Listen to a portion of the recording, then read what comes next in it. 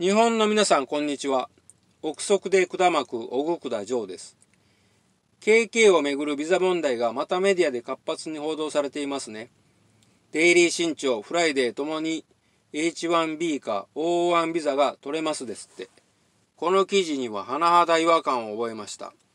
だってデイリー新潮なんて H1B ビザは抽選で発給が決まるがごとくの記事でしかも別枠もあるのでもう取れたって。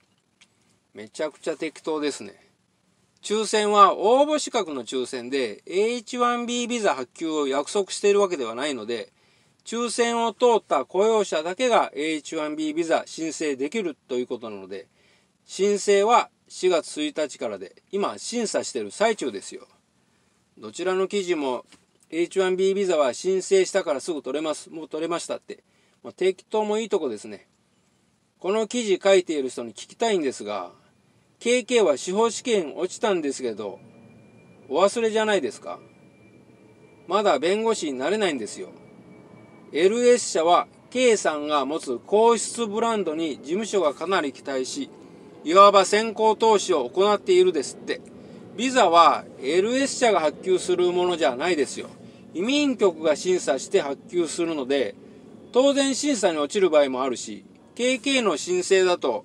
まだ弁護士になれない以上、ロークラークの職で申請だったらば、普通に考えたら落ちますよ。そんな簡単なもんじゃないですよ。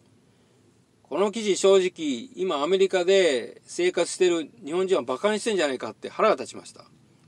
みんなビザでどれだけ苦労したかってことが全く分かっていません。日本にいるのでビザがただの他人事だからこんな話が出てくるんですよ。〇〇特権で大丈夫だって〇〇特権、聞くものと聞かないものがあるでしょう。司法試験とか、抽選とか、H1B ビザ申請に〇〇特権は聞かないですよ。ただこの話の前提にあるのは F1 ビザの OPT が5月中に切れるので、まあ、緊急事態、緊急帰国みたいな話が出ていて、キャップギャップなどと聞き慣れない言葉が出てくるんです。このビザ問題はアメリカに住む日本人だけでなく、あらゆる外国人、誰も避けて通れない問題です。もちろん私もこの問題に直面しました。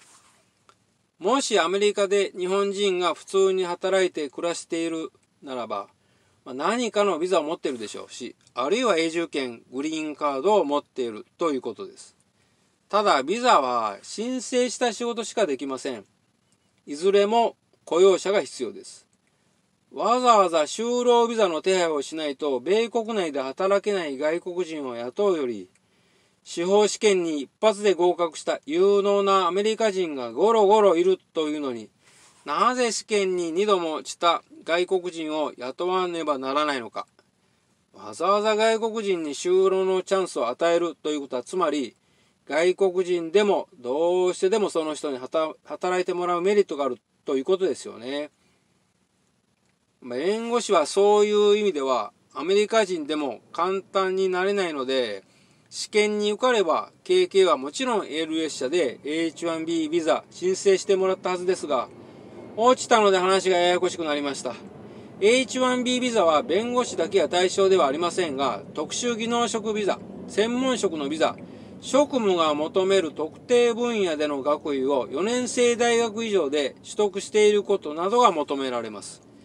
まあ、経験がなくても多少の訓練を得て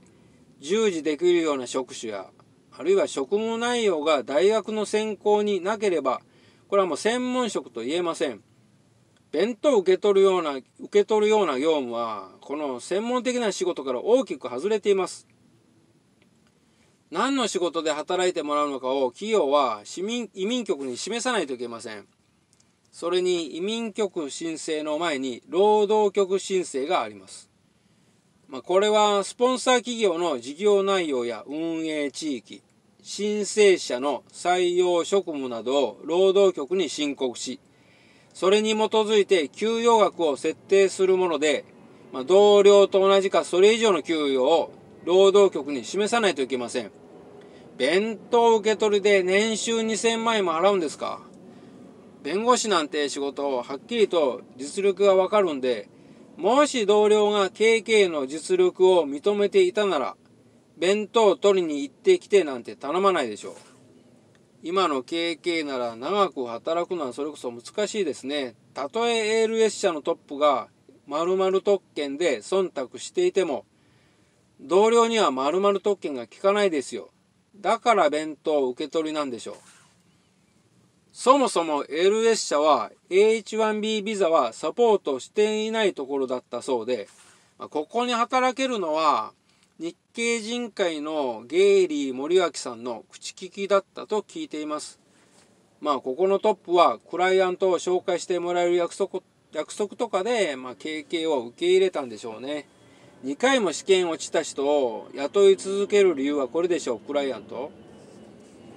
〇〇特権というのはこういうところでまあ使われているんでしょうね。例えば私が弁護士試験7月に受けるのでゲイリーさんにどこか弁護士事務所に口聞いてもらえませんか？って言っても取り合ってもらえないでしょう。ちなみにビッグローと呼ばれる大手法律事務所にも声をかけたけれどこれは断られたと聞きました。〇〇特権は何にでも効力があるわけではないですね。それに KK の場合は〇〇特権が移民局に効力があるかどうか私は甚だ懐疑です懐疑的ですから、まあ、KK に H1B ビザ与えてアメリカ政府に何の恩恵があるんですかってとこですね。まあ無理ですね H1B ビザは。まあじゃあダメなら強制終了ですか。O1 ビザがありますね、エモコさんの。こちらはもう少し現実的ですね。カーペンターさんを通じてメトロポリタン美術館でサポートしてもらうというのはありですね。大ンビザ。音大出身の私としては学生時代の同級生はほぼ全員がこれを申請したのでよく覚えています。まあ、1990年代なので今と違って楽だったですね。まあしかし仕組みは変わっていないので今も基本は同じでしょう。秀でた能力を示さないとこのビザはもらえません。しかし、こっちの方がこの可能性が高いですね。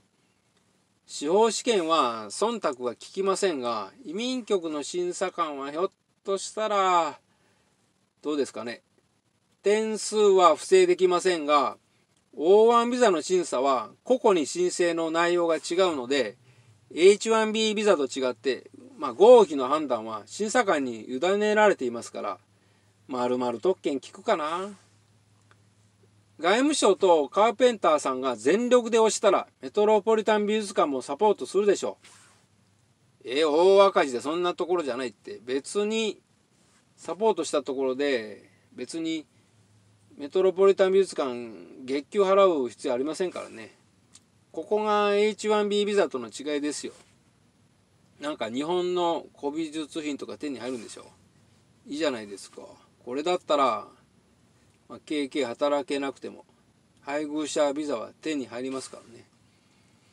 ただ O1 ビザ発給されるまでの間が気になりますね。これ堂々巡りなんですけど5月 OPT 切れるとグレース期間60日間はアメリカ滞在に猶予がありますがそれでも7月2627日司法試験当日に合法滞在できるか微妙ですね。それまでに O1 ビザが発給されれば OK ですけれど、つまり F1 学生ビザが切れるのを見越してニューヨーク来る前に O1 ビザを申請していないと間に合わないですね。この辺は〇〇特権チームがちゃんとサポートしてると思うんですが、結局今頃ジタバタしているっておかしいですよね。どのビザであれ、普通行き当たりばったりでビザ申請する人はいないでしょう。KKM 子さんももう少し先を見据えていたと思うんですけれど。まあ O1 ビザは可能性はあるように思いますが、すでに H1B ビザ取得という記事はちょっと適当すぎますね。まあ、というところで皆さんこれについてどう思われましたでしょうか？ご意見ご感想をお寄せください。チャンネル登録評価もよろしくお願いします。ご視聴ありがとうございました。